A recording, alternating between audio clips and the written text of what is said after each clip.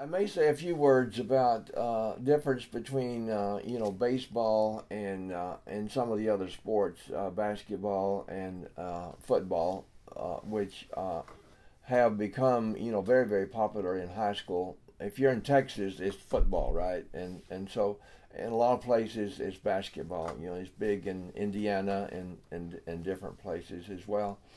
But I, I think in baseball it doesn't depend upon if it depends upon skill, the development of certain skills, uh, whether they're defensive skills or hitting, uh, the all-around skills. Uh, you have to be able to run, throw, uh, uh, catch, and hit, and you have to do all these things. But uh, baseball players come in all sizes, and some of the greatest hitters have not been tall people. You know, Ted Williams is an uh, exception to the rule, but most uh, the most great hitters are under six foot. You know, your really great hitters, and a lot of your great players were very short, like uh, Bobby Shantz was about six foot two or something like that. You know, in pitcher, and yet he won 20 games for the A's uh, years ago and uh, you you have uh, like Freddie Patek, you know, shortstop for the Cardinals, and on five foot four, I think,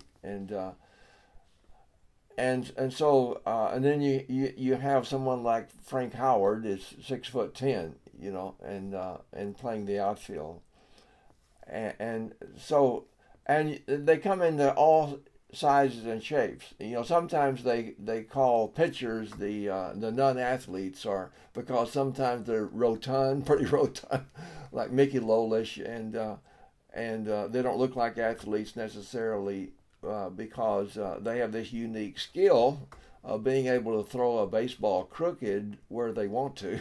I mean, you got to make the baseball do some funny things, some strange things, you know, to fool the hitter and. Uh, but and and so so ball players come in all shapes and sizes and and and baseball is a, a game not only of skill but everything is in spurts.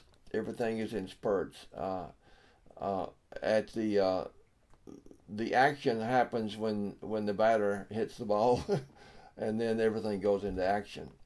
And then the play is over. It goes back to the mound the pitcher and one thing I, I like to be a pitcher because uh, a pitcher is in control of the game. You know, uh, everything starts with the pitcher, and and so uh, I heard uh, uh, you know a great pitcher say that it's about controlling yourself, controlling the ball, and controlling the game, and it's all about control, and and you are literally in control, and that's that's why to make it at the big league level, you have to have a high level of, of control, being able to control the ball, throwing it where you want to, you know.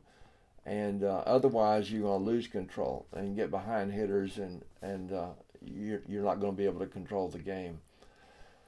So, uh, so, so baseball is kind of that u- unique thing. It's a slower game, you know, and it's a different pace. And I think uh, people have to learn about the game and learn about some of the uh, things involved that, that make baseball special.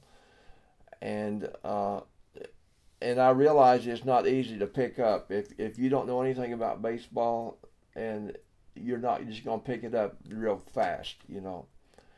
But I I think uh, with it's true of a lot of people once once baseball gets into you and and you really uh, learn a lot about the game then then you appreciate the game.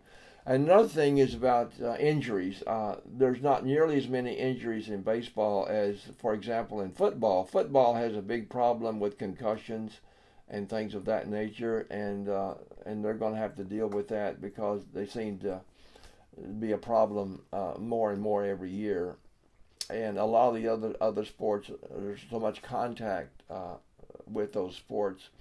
And baseball is not so much a contact sport. Yeah, there's contacts uh, when the runner comes into home plate and there's a crash at home plate. Yeah, and are at second base and turning the double play and and things of that nature.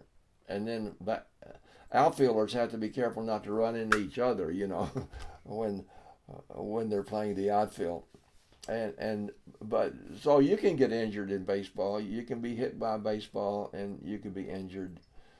But uh, uh, the likelihood of an injury, I would say, would be much less than in some of the other sports.